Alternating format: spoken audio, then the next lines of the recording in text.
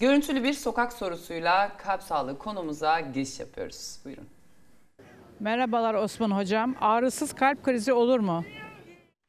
Hep belirtilerini konuştuğumuz ve artık hep çoğumuzun da bu belirtileri çok çok iyi bildiği Kesinlikle. e, bir rahatsızlık. Peki ya gizli e, geçirilen bir kalp krizi söz konusu olabilir mi? Çağla olur ve en çok da kadınlarda olur. En sık da 45-60 yaş arası kadınlarda olur. Evet. Ağrısız kalp krizlerine bir de diyabet hastalarında yani şeker hastalarında rastlarız. Özellikle şeker hastası olan 45-60 yaş grubu kadınlarda maksimum düzeyde görünür. Hiç haberi olmaz kadının. Bunu sadece bir baş dönmesi olarak algılar, geçer gider. Veya bir e, denge kaybı olarak, bir iç sıkıntısı olarak, bir e, böyle, böyle bir tansiyon düşmesi oldu galiba bende, bir şeker oynaması oldu galiba bende diye Bir şey oldu düşünceye tam adlandıramadım gibi bir Anlatlandıramaz. şey. Ama bir süre sonra yapılan ilk sağlık kontrolünde yahu siz kalp krizi geçirmiştiniz. Nasıl anladınız? E, kalp elektronunuzda bu görünür. Yani kalp elektronu sizin hem kalp krizi geçirdiğinizi göstermez sadece.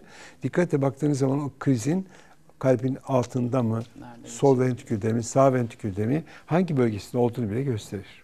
Şimdi kalp krizine ilişkin ağrının ille de kalbin üzerinde ya da tam göğsün ön bölümünde olmayacağını bilmemiz gerekiyormuş.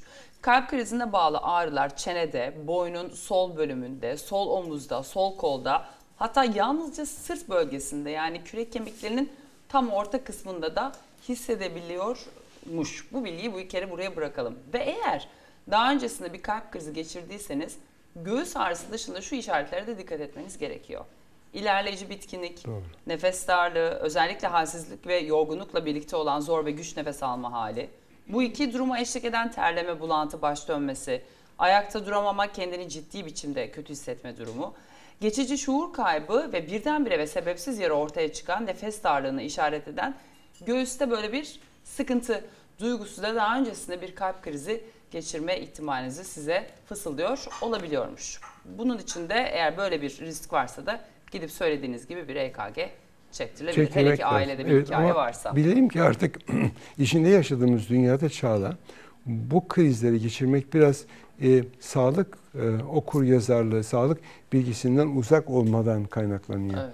Biliyoruz ki bir kalp krizi e, senelerce sizin kapınızı çalıyor. Hatta bazen kapınızı çalmıyor, tekmeliyor. Hatta bazen hani polisler böyle yakalamak için bir bilmem ne koç başıyla vuruyor ya. Onun size gibi de koç olabilir. başıyla vuruyor. Siz vurdum duymaz soruyorsunuz. Ne oluyor? Ya bir kolesterolünüze baktırın. Trigliseritiniz yüksekse, iyi kolesterolünüz az, kötü kolesterolünüz fazlaysa, hele hele bir de insülin direnciniz ya da açık net şeker hastalığınız varsa kalp krizi bugün gelmesi yarın gelecek. Gelecek demek resmen. Buna bir de tansiyon eklenmesi hiç kaçmayacak. Hele hele göbeği büyük, bel çevresi geniş birisiyseniz kalp krizi sizin kaderiniz olacak. Bunu bilmeniz lazım. Dolayısıyla krizi beklemek yerine kalp krizleri önlenebilir bir sağlık problemidir bilgisini bilmek çok daha güzel. Bakın çok da güzel bir görselle anlattılar. Bakın o karnın içinde yangın var. O yangından çıkan iltihap parçacıkları, inflamasyon dediğimiz iltihap işaretleri, stokinler diyoruz onlara Çağla, kalp damarlarının canını okuyor. Sadece kalp damarlarının canını okusa neyse beyin damarları da aynı kaderi paylaşıyor. Dolayısıyla göbek büyüdükçe kalp hastalanıyor, bellek küçülüyor Küçülüyor. maalesef. Evet. Yani sadece bir e, şey görsel bir şey olarak bakmayacağız göbeğimize. Böyle bir yangının olduğunda Kesinlikle. bilmemiz iyi oldu. Bu görselle desteklemiş olduk. Bir sonraki görüntülü sokak sorusuyla devam edeceğiz. Buyurunuz. Merhaba hocam. El uyuşması neyin belirtisidir? Size soruyorum. Evet, el uyuşmasının neyin belirtisi olabilir hocam? Çağla el uyuşmasında da elimizin neresinin uyuştuğu çok önemli. Yani sadece e, el bileğimizin altında ise bu uyuşma biraz da üstte vurabilir ama e, bu daha ziyade bu el bileğimizin içinden tam bilekten geçen bir kanal var. O kanalda bu kanaldan geçen iki sinirden birinin sıkışmasıyla alakalıdır. Bu sıkışmanın hangi sinirde olduğuna göre bu iki parmak ve iki buçuk parmakta veya diğer üç parmakta ağrı olabilir. Buna karpal tünel sendromu diyoruz.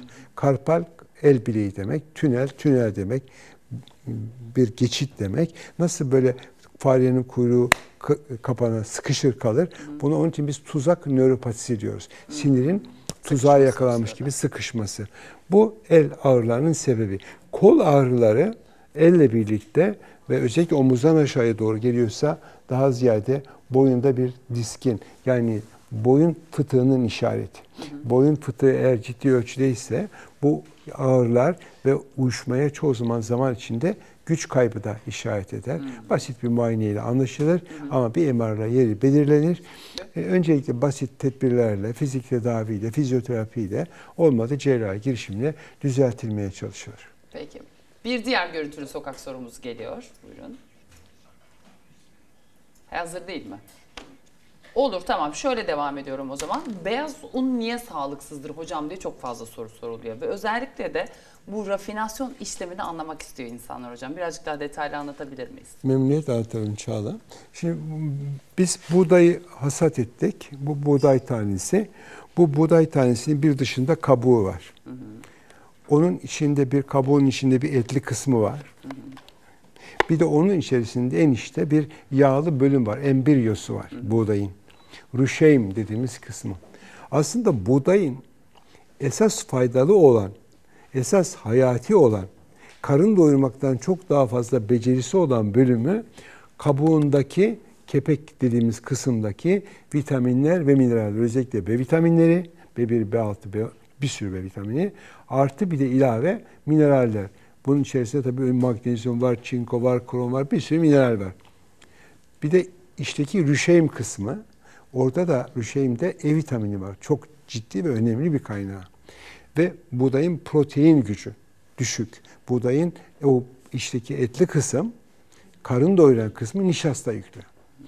Yeni hayat, eski değirmende öğütülen buğdayları biz değirmende veriyorduk değirmene. O değirmen bu buğdayı kabuğuyla, rüşemiyle beraber karıştırıp öğütüp önümüze koyuyordu. Yani o değirmen eski anamızdan, atamızdan, babamızdan, dedemizden kalan değirmen buğdayının içinde rüşeim de vardı. Kabuk kısmı da vardı. vardı. İçindeki o etli endosperm dediğimiz gibi, ilgili kısım var. hali. Evet. Yeni hayat bu verimi arttırmak için bir kere önce buğdayın genetiğiyle oynandı. Buğdaylar şişmanlatıldı. Ne oldu? İncecik buğdaylar kocaman buğday haline getirildi. Dolayısıyla endosperm kısmı kalınlaştı. Sadece onu da yapmadık. Yeni hayatta genetiğiyle oynadığımız bu buğdayların kabuğunu ayırdık, içindeki rüşeymini ayırdık.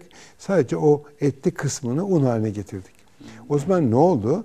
O etli kısmı hem içindeki çok yoğun kalori içeriğiyle, vitamin fakirliğiyle, e, mineral fakirliğiyle hem de yine o etli kısım içindeki gluten zenginliğiyle sağlık problemine yol açtı. Yani şu anda kullandığımız ekmekte, beyaz undaki bütün problem buğdayda tam, tüm tam buğdayda olması gereken mineralleri, vitaminleri, rüşeymde olması gereken E vitamini gibi çok önemli bir hazineyi ve protein yükünü bir kenara atmak ve sadece bizi e, glutenle ve sadece bizi nişastayla baş başa bırakmak. Gluten şişman pardon, nişasta şişmanlatıyor.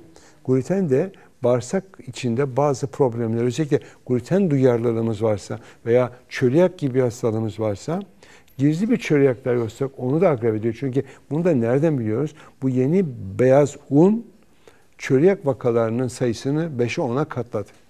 Bu yeni beyaz un yüzünden hiç karşılaşmadığımız oranda artık gluten intoleransı yani çölyak değil ama glutene karşı aşırı duyarlı. Bu nedenle şişkinlikten, gazdan, ishalden, kansızlıktan, yorgunluktan vesaireden bahseden bir sürü hastamız olmaya başladı. bizde konuşuyor. Daha fazla video izlemek için kanalımıza abone olabilir. İlk izleyen olmak isterseniz bildirimleri açabilirsiniz.